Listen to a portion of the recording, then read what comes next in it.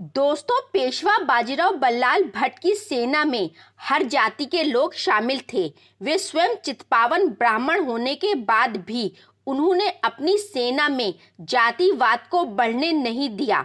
उन्होंने अपनी सेना में हर जाति के सैनिक को जगह दी। उनकी सेना में सैनिकों का चयन योग्यता के आधार पर होता था, जाति के आधार पर नहीं। वे स्वयं अपने सारे सैनिकों का ध्यान रखते, जिसके कारण वे अपनी सेना के सबसे चहीते सेना नायक बन गए। उनकी सेना ही उनका परिवार और रणभूमि ही उनका घर बनकर रह गए। ये फैक्ट जानकर आपको कैसा लगा? अगली वीडियो में फिर मिलेंगे। तब तक के लिए अलविदा दोस्तों।